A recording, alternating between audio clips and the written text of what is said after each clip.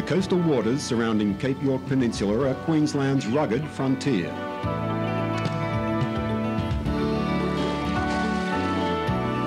The scream of the reel, a trek to Hidden Falls, the Cape offers a variety of adventures.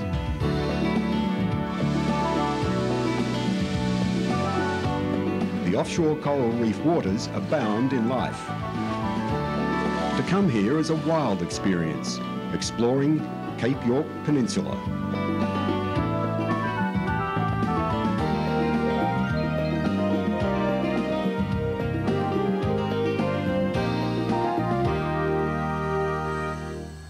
Port Douglas in far north Queensland is Ben Cropp's home base.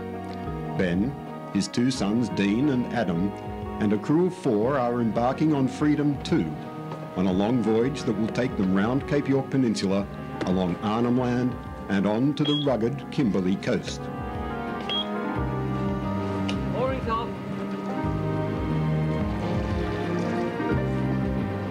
They're heading for the great wilderness area of Australia, often referred to as the top end.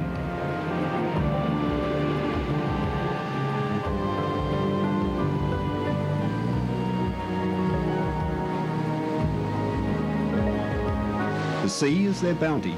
They rely on it for fresh food every day. I'm not holding him. Oh, huge. Back up, Nick. He's too big. Taking all my line. Yeah. It's just a, a weight. oh.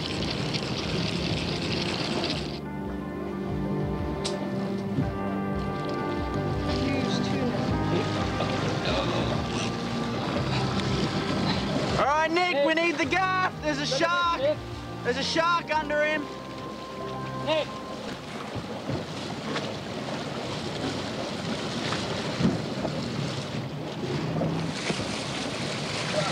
Big tuna, yellowfin.